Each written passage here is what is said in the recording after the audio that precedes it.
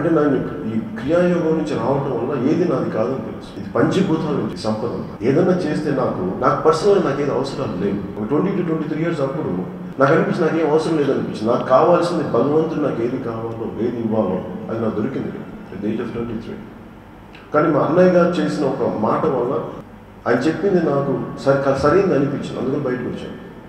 ఆయన మళ్ళీ ఎప్పుడు చెప్పానంటే ఒక ఫ్యూ ఒక వన్ మంత్ బ్యాక్ చెప్పాను ఆ రోజు నువ్వు ఉన్నాయా? ఈ రోజు నేను అదే మాట just exact one month before అంటే నేను ఆ రోజు అంటే నేను ఆయన సరదాగా అన్నా నేను పెద్ద సీరియస్గా లేదంటే నేను చాలా సీరియస్గా తీసుకున్నాను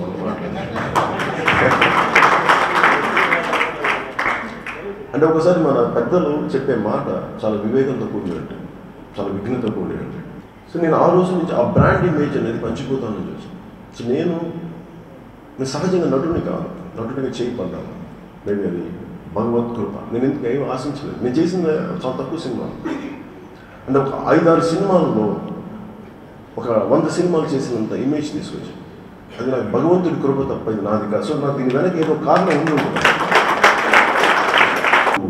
indulgent pleasures of every kind my purpose is of my life purpose is to serve people ఇది నాకు చిన్నప్పుడు తెలుసు. అందుకే నేను ఎక్కడ నా సినిమా సభలు జరుపుకోలేదు. నా సినిమాకు సంబంధించిన ఫ్యాన్స్ క్లబ్ నేను పెట్టలేదు. నాకంటే నాకు నిజంగా భగవంతుడు అనుమతిస్తే ఒకరోజు నన్ను ప్రజాక్షేత్రంతో వస్తాను లేదా? ఇది నాది కాదు అనుకుంటే మీకు నేను యోగ మార్గంలోకి వెళ్ళిపోతాను. నాకు ఇది ఉండే కనిపించింది. నాకు అంతకుమించి వేరేం కనిపించింది. అందుకే నాతోటి నా పక్కన బతుకు చాలామంది ఇబ్బందిగా ఉంటుంది. ఎప్పుడు సన్యాసం అవుతానో తెలియదు ఎప్పుడు సంసారం అవుతానో తెలియదు ఈ సమస్యలు గుర్తుపెట్లు ఆడుతూ ఉంటాను అంటే ఎందుకంటే నా పిల్లలు కూడా అంటూ ఉంటారు. నువ్వు వదిలేసి వెళ్ళిపోతున్నావు అంటే ఏం చేయను నేను చేయను అండ్ నా కూతురు అడుగుతూ ఉంటుంది. నాకు ఏం చేయాలో తెలియదు. బాధపడగలను కన్నీళ్ళు కార్చగలను తప్ప అప్పుని చేర్చుకోగలను తప్ప వాటితో పాటు ఉండలేను అది నా పరిస్థితి. బట్ ఇది అంటే నేను నా బిడ్డలు కొంచెం ఇబ్బంది పడ్డా కానీ బాధపడ్డా కానీ నేను ఎక్కడో మారుమూల ఉన్న ఈ అడవి తల్లి బిడ్డలు ఎక్కడో మారుమూల మనకి అరకు అరకులో ఉండే గిరిజన ప్రాంతంలో ఉండే బిడ్డల బాధలు చూస్తే నా బిడ్డల బాధలు అసలు బాధలే కాదు?